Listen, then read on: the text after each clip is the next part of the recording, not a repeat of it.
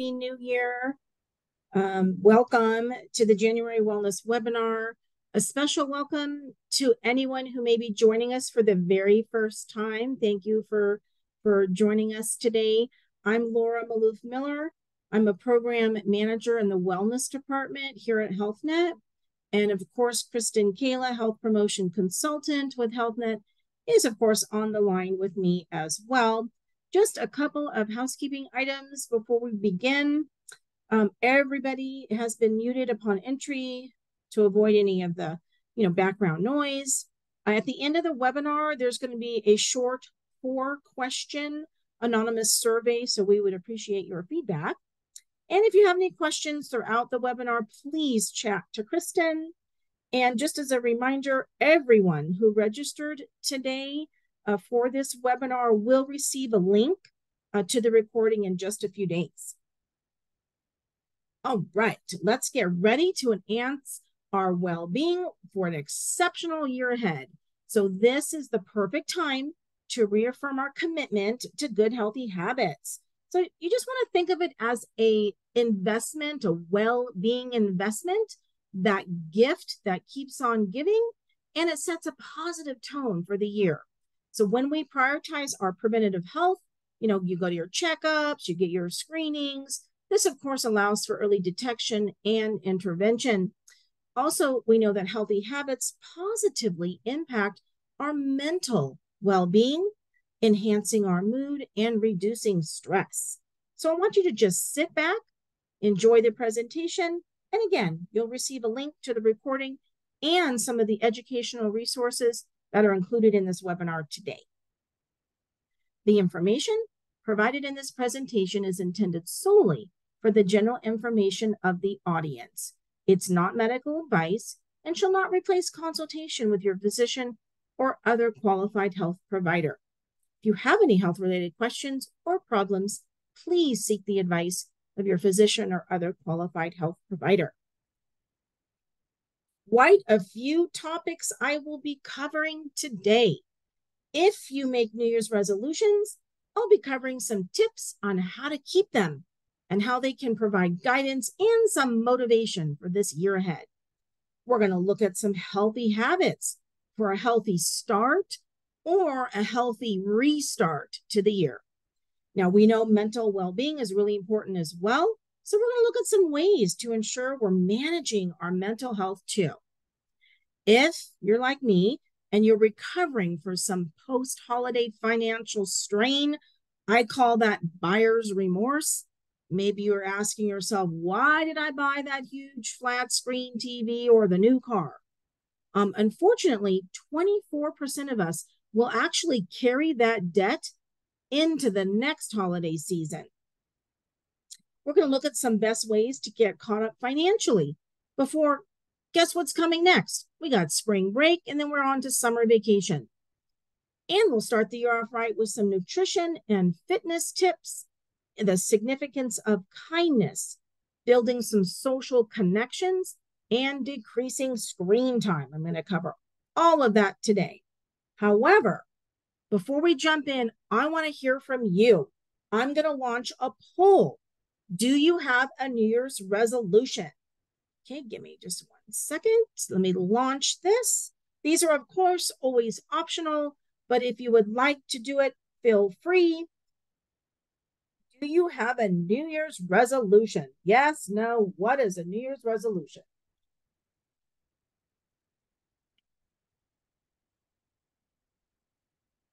All right, couple more seconds.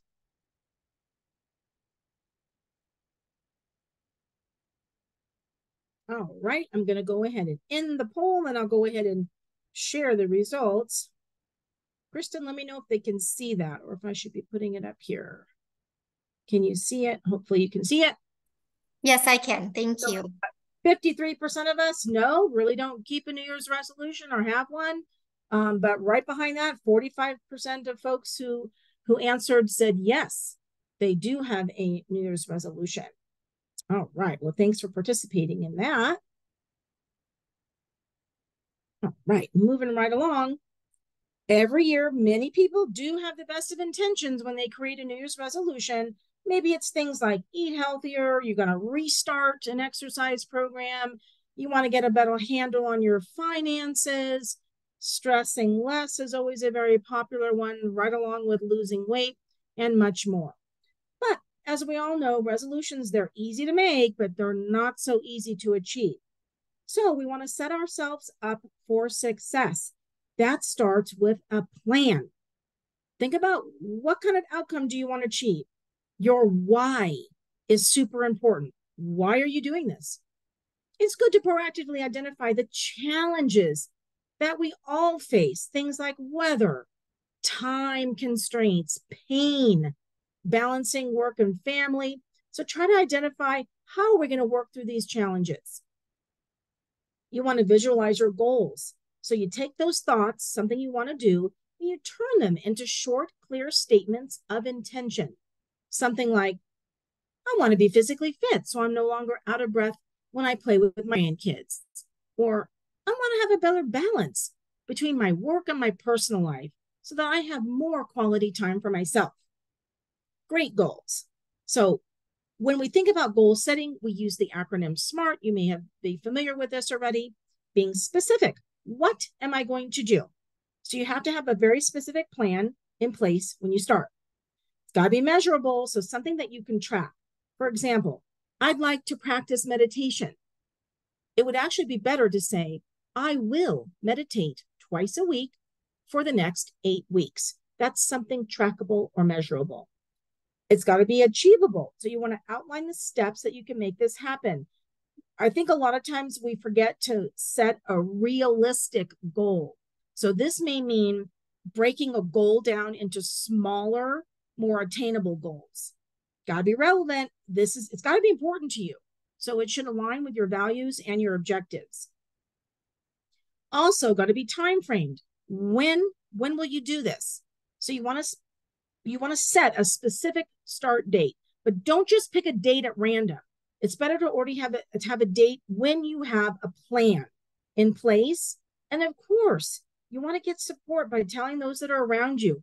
Tell them about your goal and try not to lose sight of what we're trying to achieve when we face temptations because we do, they will always be there. But in making your health a priority, it does take a commitment. Also, make sure to start out small. If you go with multiple goals, that could lead to frustration because you can't work on all of them while you're trying to integrate, you know, like work and life as well. So just pick one goal to work on. Now, less let's kickstart the new year with some here's some healthy tips. Now, this is a list of habits that you, you may think about starting or continuing this year. So we're going to start at the top. Being grateful is good for our health. Now, this is according to Robert Emmons, a psychology professor at the University of California, Davis. It turns out that counting our blessings not only reduces depression and stress, it also lowers our blood pressure and it can also slow down some of the effects of aging. Get up and move more. Now, I'm not saying you have to be a world class athlete. Maybe just walk around your neighborhood or ride a bike. Simply finding a routine that works for you. Think about using a tracking device too to gauge your current activity level. I personally am wearing a Fitbit. Now, when I first got it, I actually didn't bother to read the instruction manual so I would look at it and it said, feed me. And I thought, wow, this thing's measuring my blood sugar. How does it know that I skipped breakfast and it's past lunch? Well, so I got up and got something to eat, right? But I soon realized what it wanted me to do was to move, feed me steps. So, anyway, I've not made that mistake again. And that's what I get for not reading the instruction manual. Sleep seems to be the one thing we think we can skimp on. But it's really hard to feel and do our best when we're tired. Sleep is so fundamental to our overall health. Getting together with family and friends does have a positive effect on our happiness, and we live better when we are socially connected to others. And what makes people feel fulfilled? Well, actually, when they give to others. Now, there is no shortage of people, causes, or organizations that can benefit from our time, our expertise, and our resources. So when we help others, we release the feel good chemicals in the brain. Now, maybe this is the year that you learn a new language before traveling. Um, maybe you're going to try a new musical instrument or you're going to take a class. All of this is good for our brains, as our brains need to keep learning as we age. And of course, making health a priority means keeping up with our medical checkups, vision and dental screenings, and any tests that are recommended by your doctor. So we know that good health is the foundation for being able to enjoy life. Now, there are lots of ways that we can put our mental health first. This is just a few uh, suggestions here on the slide. Mindful meditation is fast. It's also a really easy way to reduce stress wherever you are. So it's the practice of purposely being aware of and focusing your attention on the present moment. This focus can re- result in enhanced physical and emotional well being. If you have just a few minutes, you could do a, a focused breathing meditation. Simply sit, close your eyes, take a couple deep breaths.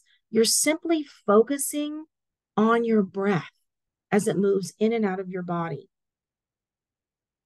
Did you happen to know that dogs are good for our health? Why is that? Well, they get us moving.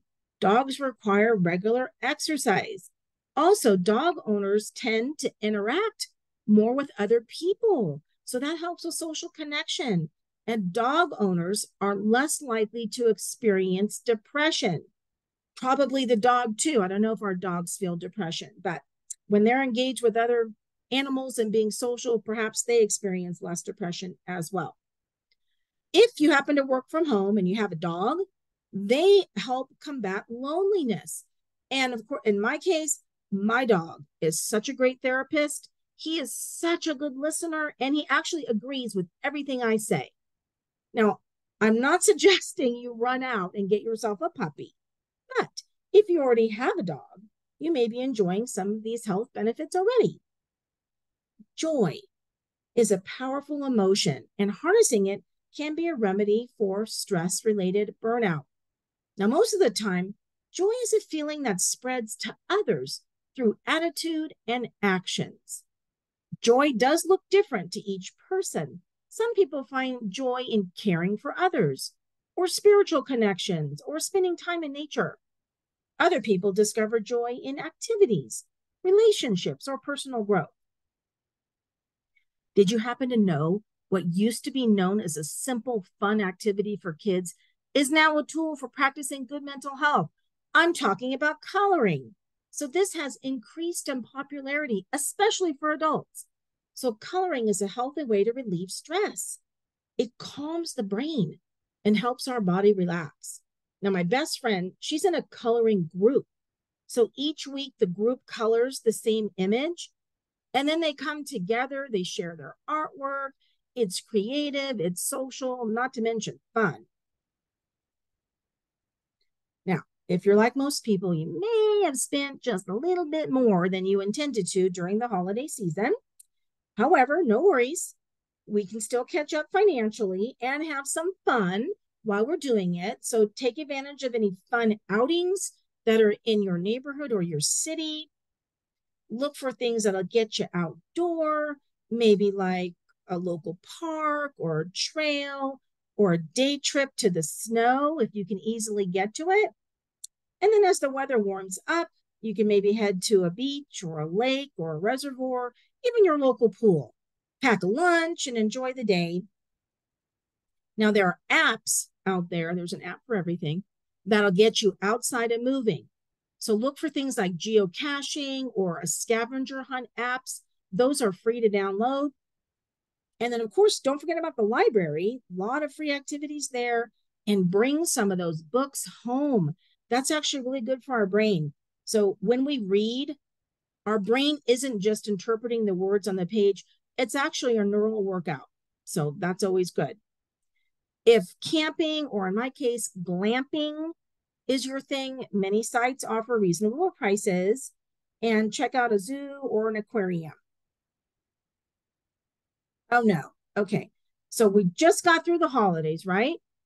Here it comes. Here comes the big game. I'm talking about the Super Bowl.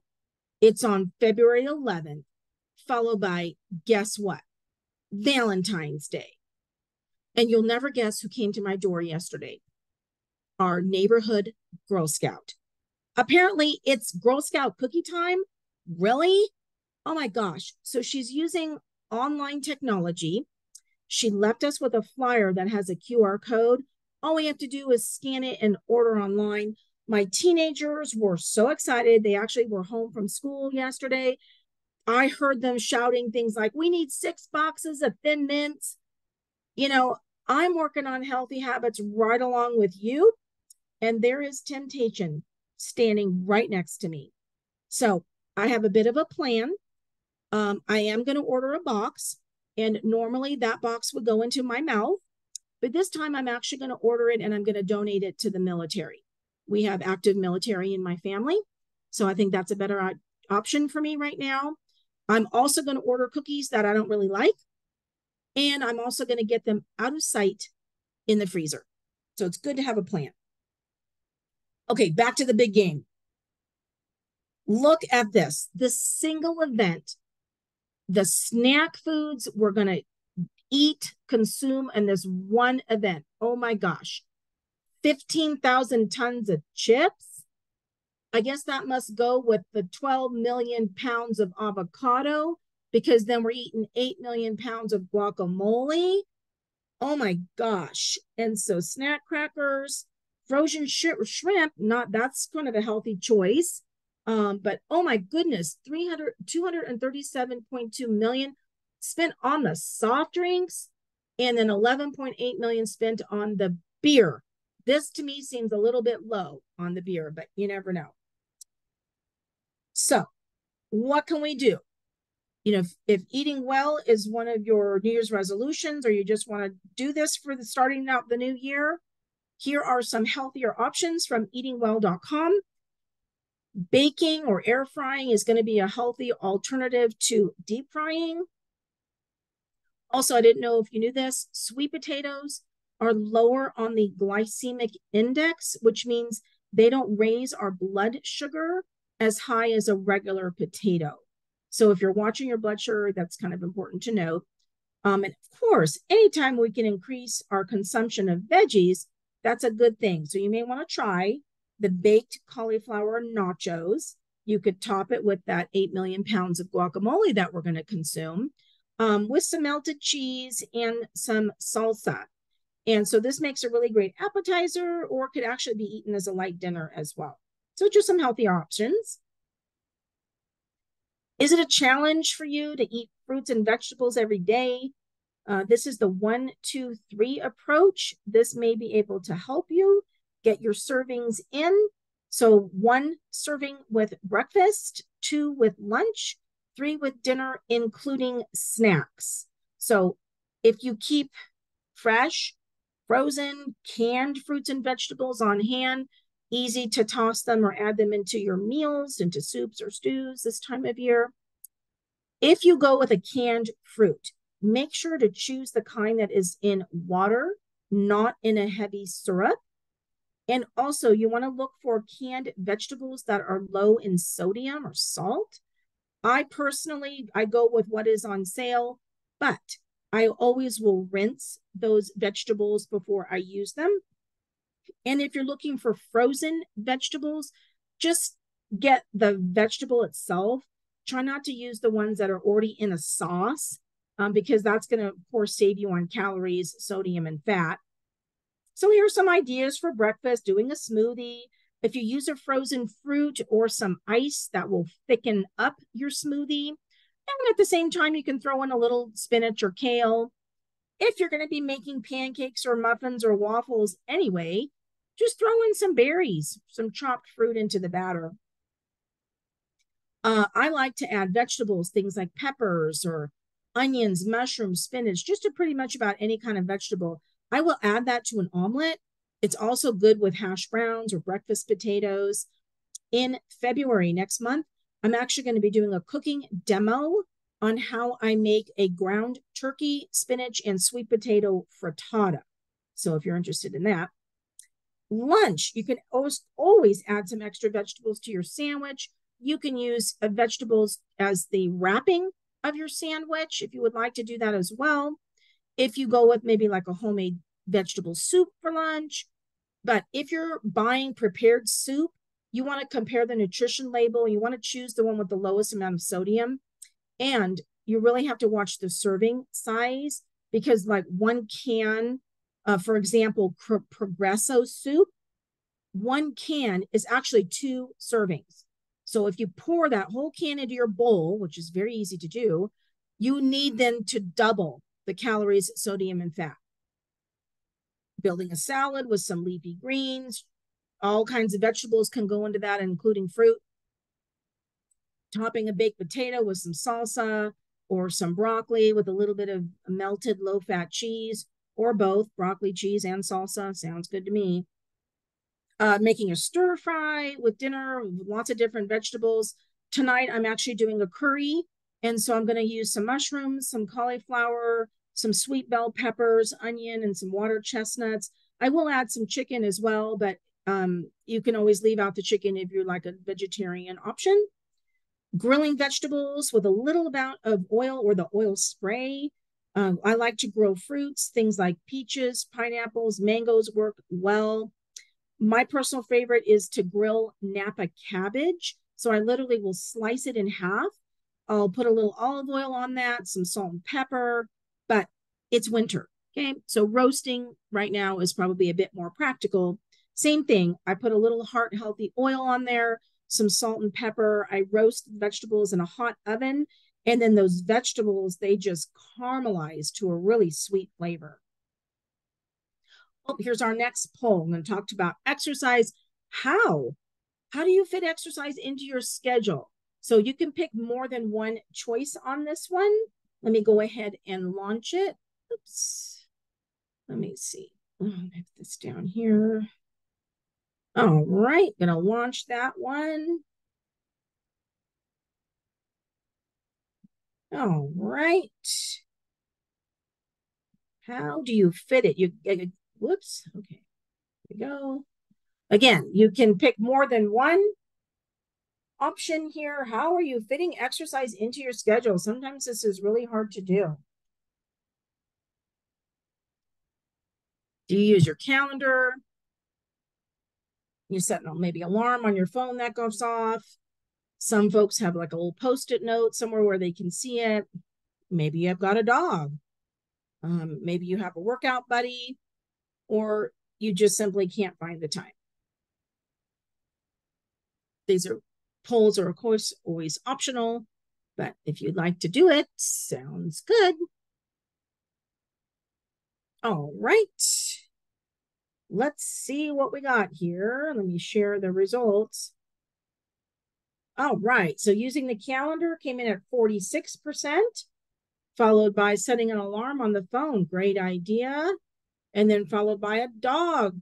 20% of the folks who answered have a dog, followed by 18% just can't find the time.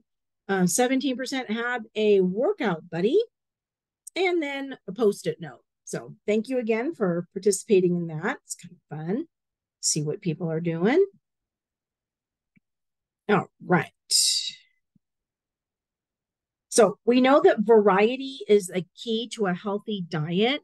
Well, it turns out it's also a key to a fitness, healthy fitness routine. So a well-rounded routine should have what you see up here, a variety of activities that work the different areas of your body it's nice to have a bit of a mix because, of course, that prevents you from being bored. Uh, and, of course, lowers your risk of getting injured. So, activities that are going to get your heart rate up, that's going to keep your heart healthy. It's also going to boost your mood and positively affect a lot of different chronic conditions. So, when we think of exercises like this, we think of walking, running, biking, swimming, rowing, using uh, like an elliptical machine, and many, many more when we are thinking about lifting free weights or using our body weight, think of the whole body. Think of things like legs, arms, stomach, and the back. Strength training helps build muscle. It strengthens those bones and it prevents injuries if done properly. You can also do exercises that don't require weights. So think of push ups or calisthenics, squats, planks. We know that flexibility improves our joints' range of motion and it makes daily tasks much easier. So you want to stretch after your workout when your muscles are warm. And proper body alignment not only prevents pain and injury, it also improving your posture. It will actually take some time and a conscious effort. Everybody's probably sitting up straight in their chair now. Um, but you know, the feel good benefits are worth it. Balance training. So, this improves your body's ability to react quickly to everyday missteps. And of course, it helps prevent falls. Now, during exercise, balance also helps you to move more efficiently for improved performance and injury prevention. What is key though? Consistency and safety. Those are key roles in a fitness routine. You have to think of exercise as a lifelong activity. So, ideally, your week should include at least two days of strength training and at least 150 minutes, which is about 30 minutes most days of the week, of moderate aerobic activity. The things like flexibility, the posture, and the balance, that kinds of things can be worked in throughout the week. So, how do we fit it in to our busy lives? Well, the most common excuse to avoiding exercise is what? I don't have the time. However, it's likely you can find 10 or 15 minutes from distractions, things like you're watching TV or you're online shopping or you're browsing social media challenges, channels throughout the day. So find ways that you can be active for the benefit of your health. And you have to plan ahead. So you need to look at your schedule and identify what are the ideal times that you could work out. Some of us bring our shoes or maybe even an extra jacket so that you're ready to walk on your lunch break. Now, once you've planned your workout, then you have to schedule it. So, like most people said here, write it into their planner, create a calendar entry with an automatic reminder. So, when your day is planned, you have set yourself up for success. Now, the goal is to aim for about 30 minutes of activity about five days a week. But the 30 minutes daily doesn't need to be consecutive. So you could split it up into 10 minute or 15 minute segments throughout your day. And here are some examples of how to get some of that activity. When you have the opportunity, take the stairs. Even a few minutes during the commercial breaks, if you're watching TV, walk around your house, get a few steps in, march in place. You could always take a stroll, maybe around your neighborhood. Um, we know that sitting too much is just as bad as smoking. So make sure you get up, move around, step outside for a few minutes, maybe do some gentle stretching. Have you joined a gym this year? Or maybe you're out in the gym and you find it so crowded with all the New Year's resolutionists out there. Maybe you're going to come back in about a month when it's not so crowded. Did you happen to know that some gyms are banking on that fact that you won't come back, but you'll still pay the membership fee? Why is that? It's because we have a desire for something, but then we don't follow up with the commitment. So don't be that person. It's a new year. Take the opportunity to make the commitment to a healthier lifestyle. Now we know the world is filled with negativity. All you got to do is watch the news. Um, but if you take a step back and you look around, you'll actually start to notice kindness is all around. Now, the art of kindness involves a spirit of helpfulness, of being generous and considerate without expecting anything in return. Maybe you'll notice someone's holding the door open for the next person, or perhaps you pay for the driver behind you in the drive through. I love doing that, especially when I can sneak away. A really quick story. My sister and I, this is a while ago, we went out to dinner, and this is we're going to go to a concert. So we were in the restaurant. We got there early. We're the only ones there. There was a man in the lobbies picking up his food to go. Nobody else was really around. And so I just happened to say to the guy, because I enjoy talking, I'm so excited. I'm going out to dinner with my sister, and then we're going to a concert. You have to remember, I don't get out much. Okay, so he smiled, he got his food, he left. My sister and I enjoyed our dinner. And then the waiter comes over. Oh, would you like dessert? Oh, no. I looked at my watch. Oh, no, no, no, no dessert. We got to go. I don't want to be late for the concert. And then he said, Are you sure you don't want dessert? And I'm like, uh, no, no, thank you. And then he said, Well, that man in the lobby paid for your dinner. He said he wanted you to have a great night. I still get chills thinking about that. Did that man make my night? Absolutely. But more importantly, his act of kindness, it left a lasting impression. So anytime I get the opportunity, I love to tell that story. Giving kindness is often simple, it's free, it's health enhancing. A kindness has been shown to increase self esteem, empathy, and compassion and improve our mood. This one, too, can decrease our blood pressure and cortisol. That is that hormone that's directly related to our stress levels.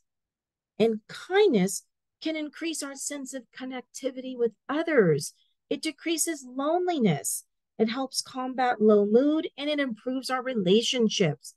It's also contagious. So, you know, you show somebody kindness, it's like encouraging others to join in with their own generous deeds.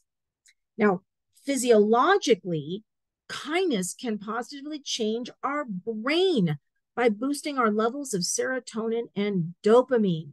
So, those neurotransmitters, they're the ones that produce that feeling of satisfaction, of well being, and cause the pleasure and reward centers of our brain to light up.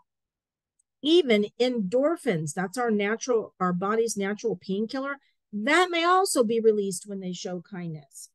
But what often happens? We forget about showing kindness to ourselves. We're often our own worst critic. So don't forget that part. Give yourself positive affirmations and be kind to yourself as well. Loneliness. Okay, we're going to have a webinar this year dedicated to this topic of loneliness and your health. By nature, humans are not solitary creatures. We thrive through connecting with others, which typically happens uh, without much thought or effort. However, in a recent advisory, the US Surgeon General recognized that people are struggling to connect and declared loneliness in the United States an epidemic. Now, there's a difference between being alone and feeling lonely. When you're alone, there's nobody with you. And often I'm telling you the truth, when my husband and the teenagers are out of the house, I love it. But when you're lonely, you feel disconnected from others, even if they're right beside you. We all feel lonely at times. So common sense tells us that this loneliness epidemic, it may be part of our changing culture, uh, the pandemic, the spread of electronic devices, social media, and the more hybrid or work from home jobs. So, well, what can we do to combat loneliness? Well, the prescription for addressing loneliness is more human connection. So stop telling yourself that you're lonely because something is wrong with you. That negative self talk can keep you in a cycle of isolation reach out to others in small ways, even just by smiling or helping someone at the grocery store or talking to someone when you're out and about. Practice connecting with colleagues, friends, family, loved ones on a more deeper level rather than sticking to the superficial topics of, you know, the weather. It's it's the deeper connections that help us to feel close to someone. Don't fool yourself into believing, oh, hey, I'm totally connected. I got a ton of friends. Um, because the ones on social media, those are your contacts or or acquaintances. Such media connections, they are not the same as truly active friendships. You also want to get involved in activities that interest you, that involve other people. Maybe there's church activities or volunteer groups, book clubs, Maybe you take a dancing class or uh, some kind of sport kind of thing that involves other people, any type of that group activity that's going to draw you in. And when friends or coworkers, if they invite you to a gathering or something, you really have to go. I said, just being around people, even if you're not initially inclined to do so, this is really good practice. It helps you with making friends. It, but that's a gradual and process, so it takes patience. Um, but go, even if you don't really want to, you should still go, even for a little bit. If you have struggle with loneliness, don't be afraid to reach out to a mental health professional. Um, be honest about what it feels like to be lonely and how it's affecting you. Sometimes just having a sounding board or support can help you get started on the path to feeling less lonely. It's important to be aware of symptoms and acknowledge when your responsibilities start to become too much to handle. So, burnout, it isn't a medical diagnosis, but it's generally feelings of depleted energy or exhaustion because of continual stress. So, the symptoms of stress, probably familiar with, but things like headaches or muscle aches, upset stomach, fatigue, anxiety, irritability, uh, lack of being able to focus, and social withdrawal. Nobody is superhuman. We all have our limits. So, what can we do to avoid burnout? Well, the first thing is to ask yourself, you know what? What is important right now? Practice being present in the moment. If you're driving, pay attention to the road. If you're having dinner with a friend, be engaged and present.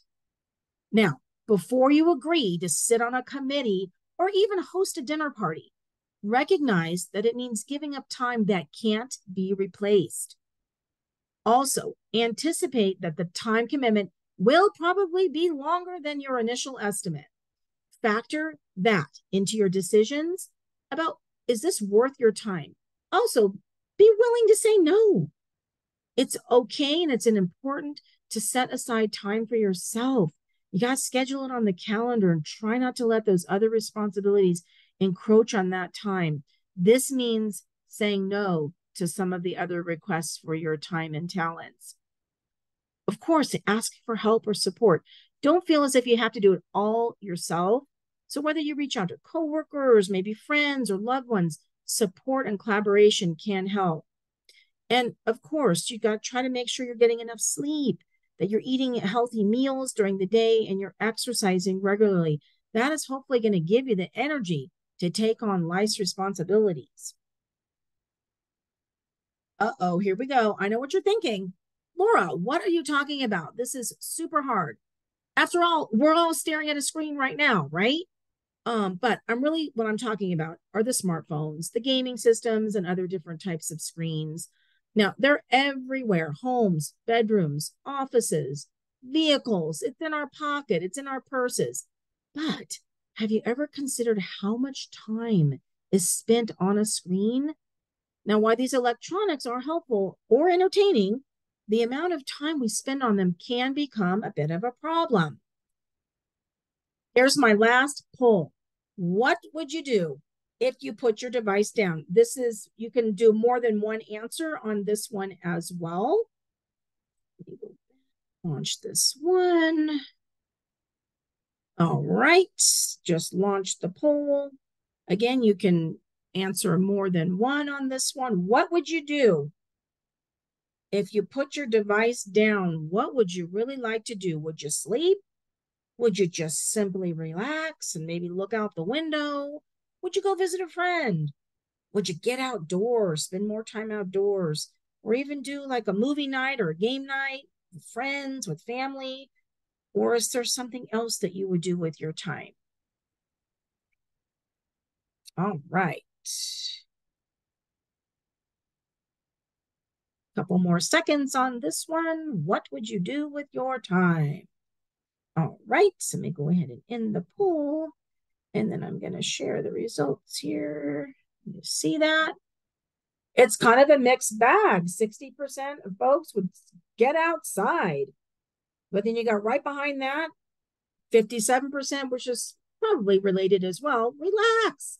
We never have enough time to relax. Sleep. That's related to relaxing too. Movie night, game night. Then we've got something else, and then visit a friend. So thank you so much again for participating in that. All right. Fun to see what people would do. So don't get me wrong. You know, I I'm a fan of technology tool. I think it's a it's a great tool, um, but just keep in mind it can also hinder our well-being and make us feel disconnected from those around us. So when we take a break from our devices, that's going to free up some more time to be active or enjoy time with loved ones. I am guilty of texting my husband when we're both working from home. He's upstairs, I'm downstairs. So what what does that do? It lessens the intimate eye-to-eye contact we have communicating with one another. Oh my gosh, don't even get me started when we go out to dinner with our teenagers and everyone's on their phone. Okay. We are on our devices. And then because of that, we're disengaged with something else. Well, what is that something else? Is it our family? Is it our friends, our job? Is it exercise, chores, or our hobbies? This is related to the loneliness topic.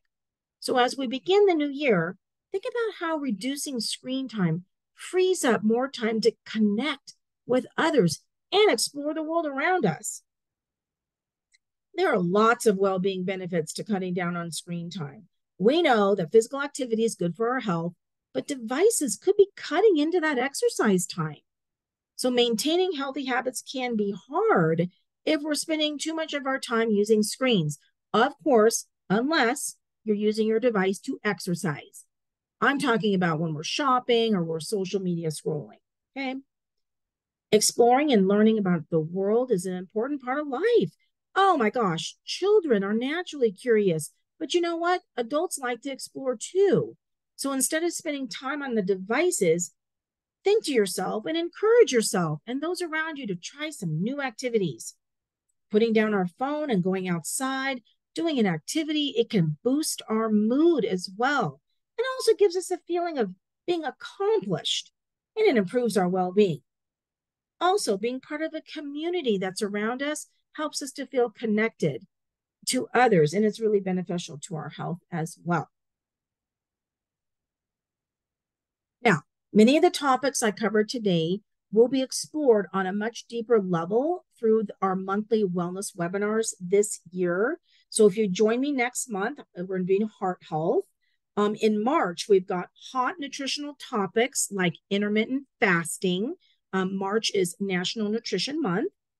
We're going to have a talk on get stuff done. So this is another way of looking about how can we be efficient and effective if you're working from home or if you have a hybrid work situation. We're going to talk about joy again. So finding joy in good work. So that is a presentation on emotional health. Live Long, Live Better is all about aging gracefully and creating a healthy home. In this webinar, we're actually going to look at what may be positively or negatively impacting our health right under our feet. Sleep, that's always an important and popular topic, so we can't seem to get enough quality or quantity of sleep. So we'll take a look at that in the Rise and Shine webinar. We'll re, uh, look at understanding burnout. So, this is a more in depth look at the topic, what it is, the symptoms, how to avoid it or manage it. And then, as we round out the year, as we're getting closer to the holidays, we'll be doing webinar on financial well being, loneliness, and your health. And then we will end the year with a rest, relaxation, and rejuvenation webinar. We're talking about nature, reconnecting with nature in that one. So I hope you will join us for those. Um, thank you for your attention today. Uh, these next slides are programs that help HealthNet members um, build or maintain their healthy habits. So our members can find all of our wellness programs and resources when they log in to their HealthNet account. Another great way to start off the year, if you haven't done this already, or you did it last year and you want to try it again, a health risk assessment. Those are designed to give you a snapshot of your health status in key areas such as nutrition, exercise, emotional health, financial well being, and much more. Healthy habits can be a challenge, so don't do it alone. Health coaching is a great way to get support when you're trying to make a lifestyle improvement, things like managing stress or eating healthier or quitting smoking. Support with family, friends, and a coach can help you keep you motivated. And craving to quit. Now, this is HealthNet's tobacco cessation program.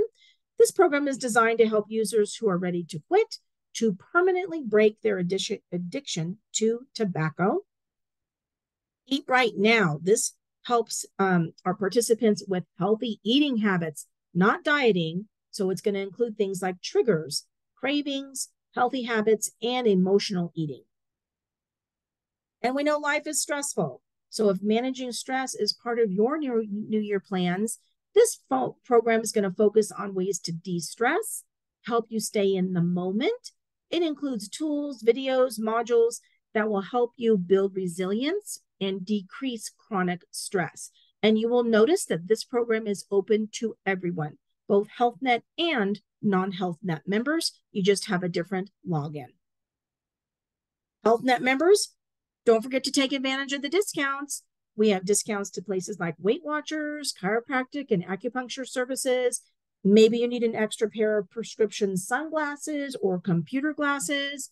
We, of course, have discounts to hearing aids and screenings and the fitness clubs, Active and Fit. It's $28 a month, gets you access to all the gyms in the network. There's no contract. You can change gyms as often as you would like to. Just remember to go. And HealthNet offers a variety of online health challenges through our wellness platform.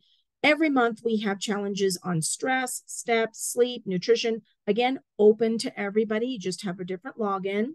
And HealthNet members, in February, we have a specific challenge for you Jump Start Your Heart, improving your cardiovascular health with exercise, stressing less, uh, getting adequate sleep, and eating nutritious diet. So feel free to join in on those in February. And last but not least, our next webinar in February is going to be Love Your Heart all year long, not just in February. We're going to be talking about some cooking tips. I'm going to do a few quick cooking demos. Laura's trying to cook in the kitchen. Um, and some healthy plate ideas. We're going to talk about some smart shopping along with, of course, heart healthy habits.